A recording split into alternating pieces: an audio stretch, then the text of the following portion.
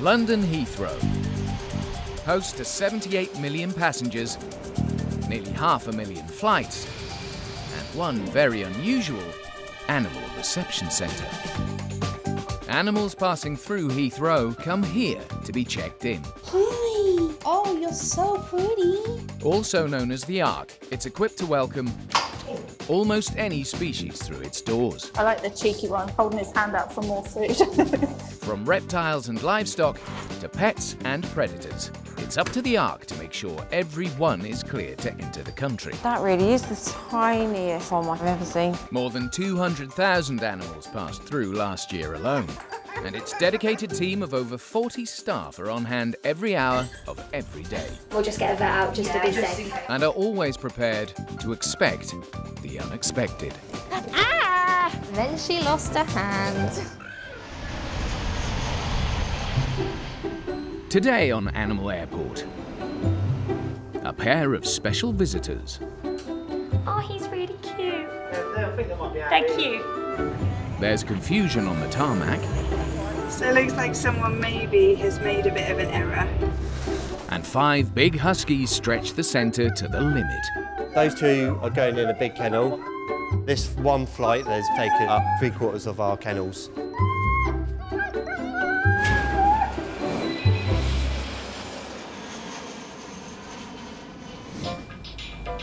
Since opening in 1977, Heathrow's Animal Reception Centre has been a world leader in the care of animals during transport, receiving 16,000 dogs and cats and 28 million fish through its doors every year. First in today is Supervisor Chris.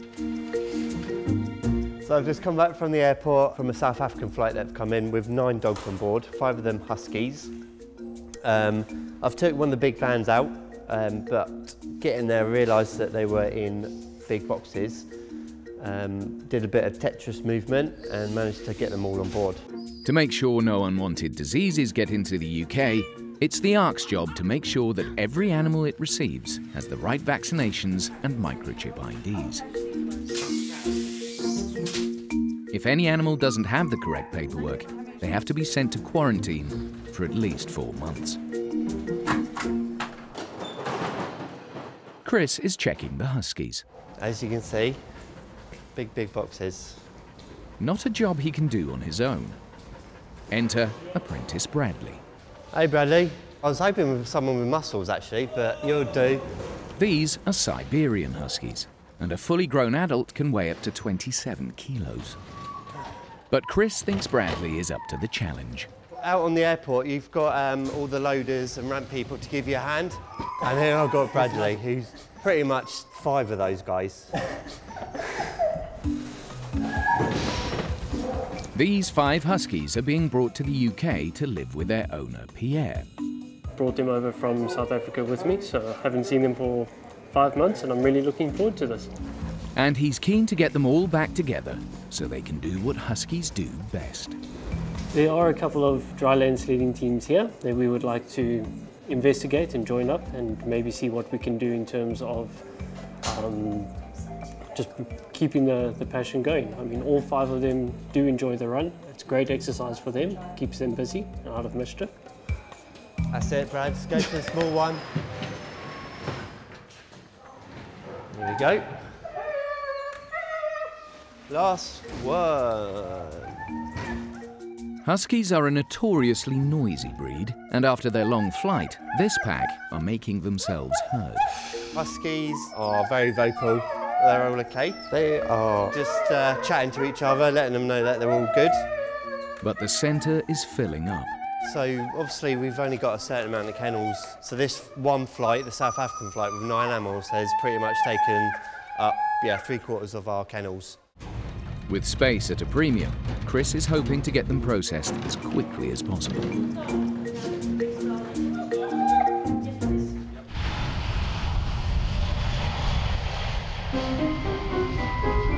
Staff at the reception centre are getting ready to welcome a pair of very unusual guests. Once or twice a year we'll, get a penguin arrival. It's not an everyday occurrence to see penguins. Bristol Zoo is sending 10 African penguins to Rome as part of a conservation project. But the plane only had room for eight. So a pair of penguins have been bumped onto tomorrow's flight and need to overnight at the Ark. Deputy Manager Ross has worked here for 15 years, so he gets called in to deal with anything out of the ordinary. I guess you could say I've done nearly every job at the Animal Reception Centre. Um, I started off as an animal attendant, uh, then I moved up to a supervising animal attendant, and then I um, ended up in the position I am today as the um, deputy manager. The Heathrow Animal Reception Centre is is a menagerie of all different animals, and you never know what to expect. The incoming penguins need his urgent attention. I've just found out they have been boxed up since yesterday morning, keeping them in there for 48 hours for, for what technically should be like a three hour flight to Rome. You know, we're way beyond it. Ross needs to get his team to adapt one of the dog kennels to make it penguin friendly. You see this kennel here? Really give it a damn good hose out, right? Because this is where we're going to probably put them after. So make sure get all the fam, give it a good spray up here, get all, get all the, get it all um, really clean, get it fully disinfected for the penguin. Make sure the drains clear out the back as well, and then this is where we're going to put them after okay. when they arrive. Okay? All right. Super. Although people think penguins are aquatic, they, you know they live out of water all the time. So um, we'll put a small tray of water in there, primarily for them to drink in, really, and, and then we'll give them some kind of shelter so they can hide if they become scared. Getting a kennel ready for these aquatic birds is a first for Animal Health Officer Shannon. Penguins being offloaded is a little bit random. Um, don't really see penguins being offloaded that often. Um, I've never had to set up an enclosure for them, but this will just be temporary, so we'll just meet their needs for the 24 hours that they're here. To make them as welcome as possible, Shannon needs to add some extra home comforts. We want to reduce all the risks for them to hurt themselves. And this floor can be quite slippy, it's not got a lot of grip, so we'll put this black rubber down and I hope that it prevents them from slipping if they come in and out. I think everyone's excited to see the penguins. Um, it's a bit, yeah, something a bit different, breaks the day up a little bit. There's just enough time for Ross to do some final checks to make sure everything's perfect. Quick picture, Bristol Zoo, check they're happy with it. They can check they're happy. And uh, Bob's your uncle. Good plan, Batman. Elsewhere in the centre, Supervisor Chris is trying to find space for five large huskies. Oh, let's look where I'm going. And he's hoping that a good meal will calm the dogs down and make his job easier. Lots and lots and lots of mouths to feed. Hopefully hungry mouths, so it doesn't go all waste.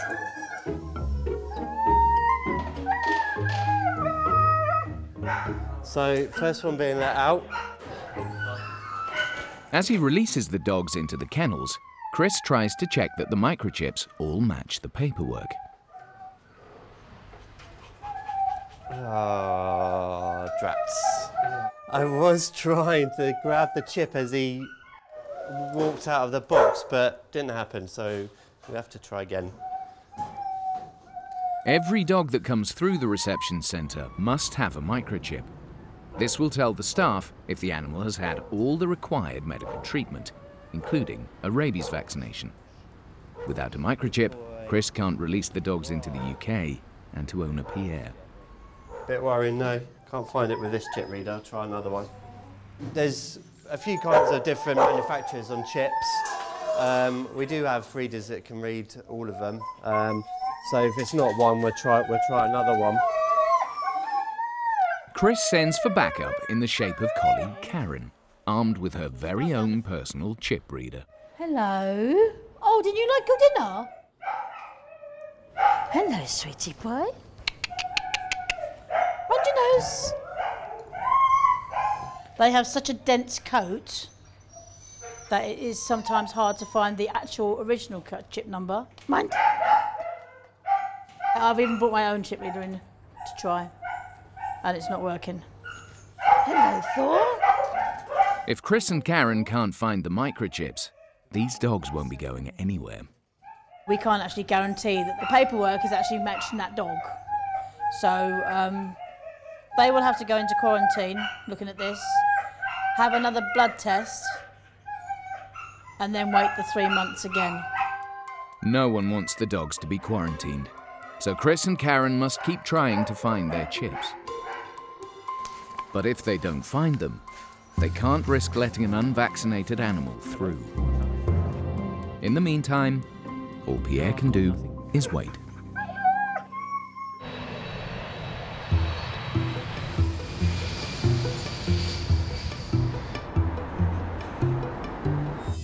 Animal Health Officer Vicky is airside, en route to pick up another consignment of animals arriving at Heathrow.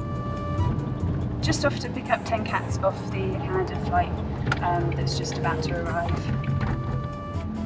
Chose the big van because we've got 10 cats. It's always best just to be cautious and take the biggest van we've got.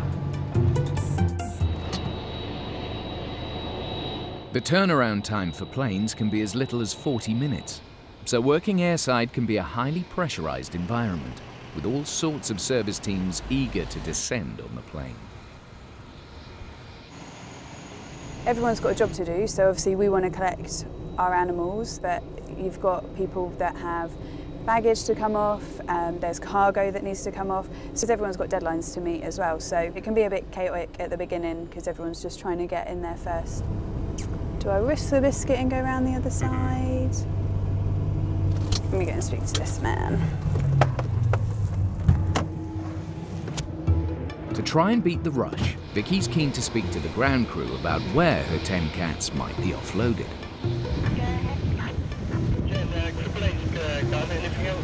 But there seems to be some confusion.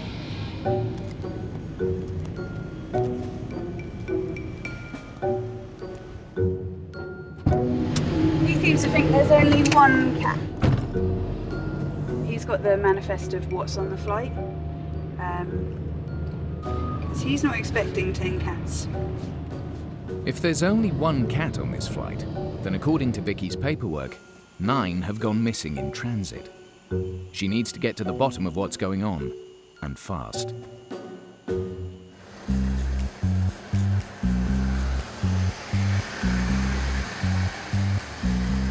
Back at the loading bay, Deputy Manager Ross is taking delivery of a pair of Rome-bound penguins who've been bumped last minute from their flight. There's two in there. Yeah. Okay, brilliant. Nice one. Their room is all ready, just the tricky job of getting them in there. Ross knows that with these snappy customers, he's going to need all his 15 years of experience. Their beaks, they have like spines that point inwards. I remember when I was a zookeeper, I suffered a horrific injury to a penguin. so, like, obviously, penguins, they're fish eaters, but in their in their beak, they've got teeth that, that point backwards. So it just means so when a fish swims into their mouth, they pinch down and tries to pull back. Uh, same thing goes for your finger. Um, so obviously, if your finger goes anywhere near a penguin's mouth, our reaction instantly is to pull back. All you do when you pull back is those spines in the mouth. They just dig into your finger, and uh, yeah, causes an injury.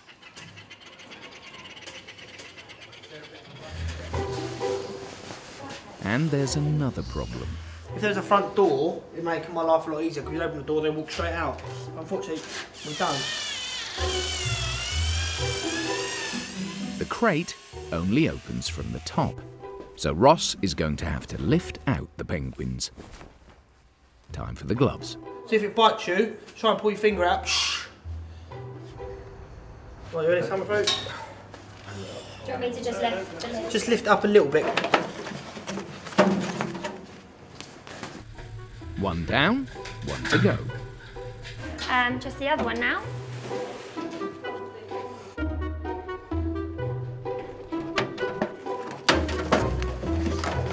But the second penguin is putting up more of a fight. Door, Shannon. See the spines in the teeth. See them spines.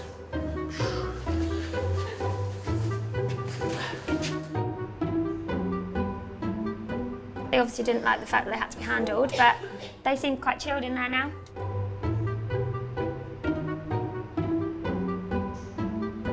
Yeah, more than happy. Yeah, they seem absolutely fine.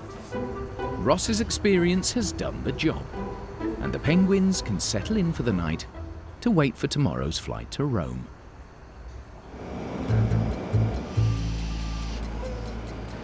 Heathrow's Animal Reception Centre is the first port of call for any creature that arrives at the UK's busiest airport. And Animal Health Officer Vicky is airside, trying to get to the bottom of a cat mystery. So let's see if we can track it. She's brought the big van to pick up 10 cats and ferry them back to the centre. So it looks like someone maybe has made a bit of an error and put the weight of the animal, not how many there is. Oh yeah, it's one piece at 10 kilos.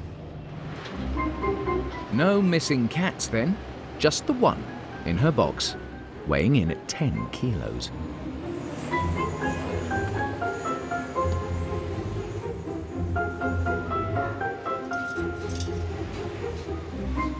At least Vicky has enough room in her van. Definitely only one cat. Um, there's obviously been an error somewhere along the line and the weight's been put instead of the actual number of cats. So many animals pass through the Ark every day. Nine fewer cats will bring a bit of relief. I think everyone will be happy that we don't have uh, 10 cats coming in. So it'll be nice and straightforward. With 650 flights arriving daily at Heathrow, there's often a queue outside the centre to drop off new animals.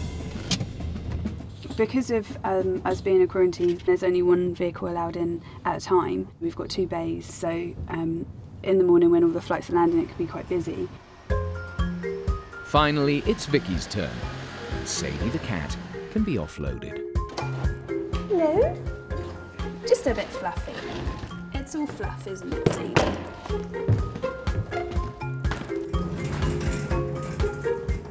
After such a long flight, Vicky's first priority is to give Sadie the chance to stretch her legs and have some food.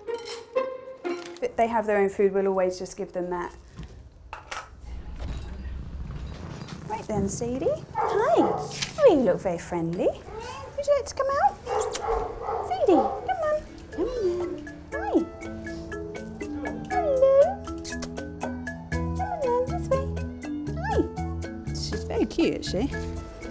Sadie will stay at the Ark until her paperwork is checked to ensure it's safe to let her into the country. Mm-mm. Earthy smells. There you go, Sadie. Enjoy.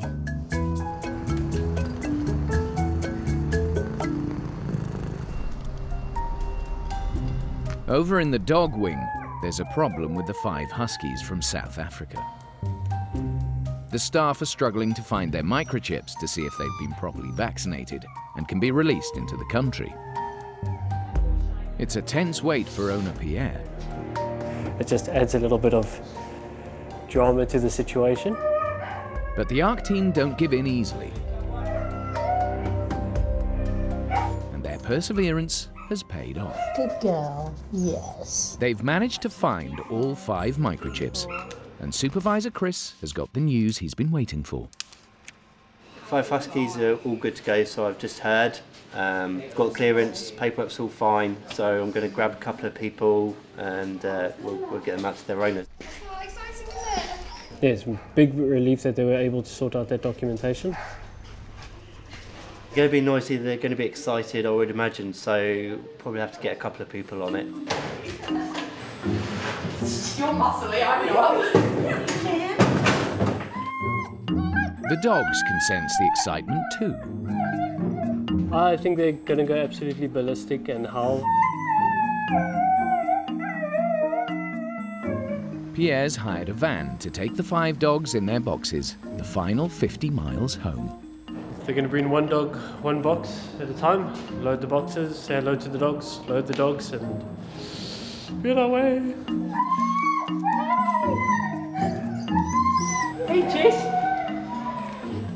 It's been an agonizing wait, Hello, but Pierre's finally reunited with his dogs. Hello. Just realised.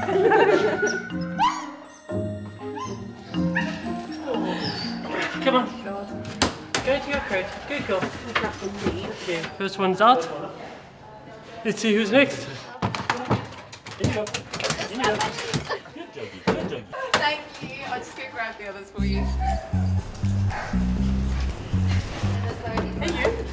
Hello. Hello, Lakita. Good boy. Three so far. Just waiting for number four and five.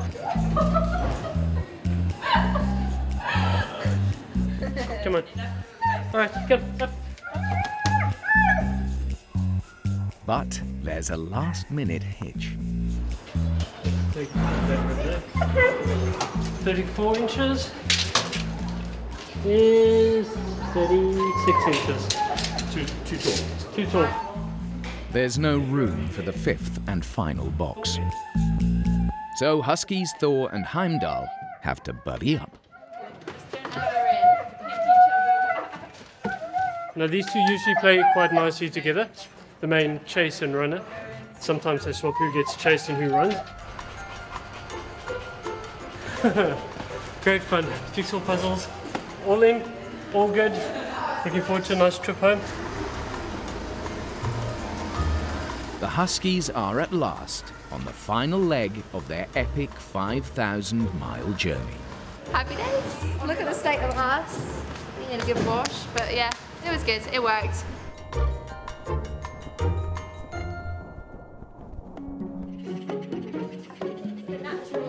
In their makeshift room in one of the kennels, the penguins are the star attraction. Oh, he's really cute. Yeah, I can. You come up now. They're, they're, I think they might be They're happy. cute. And they've drawn quite a crowd. Let's not muck about. With the rest of the staff distracted, Deputy Manager Ross is left on dinner duty. They asked us to um, offer them some sprats, so that's what we've got here. Unusual food requests are nothing new for Ross. get some funny looks on the local shops.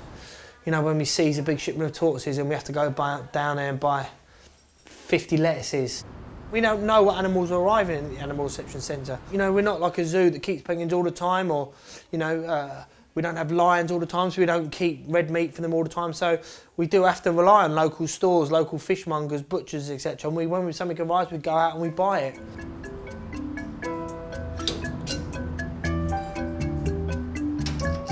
Shannon helps out with room service.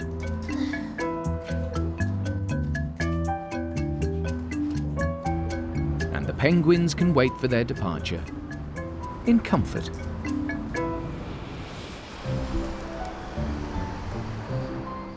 Sadie the cat's paperwork all checked out, and she was reunited with her owner. The Huskies made it safely to their new home. And the penguins had a comfortable night and were sent on their way to Rome to meet up with the rest of their group.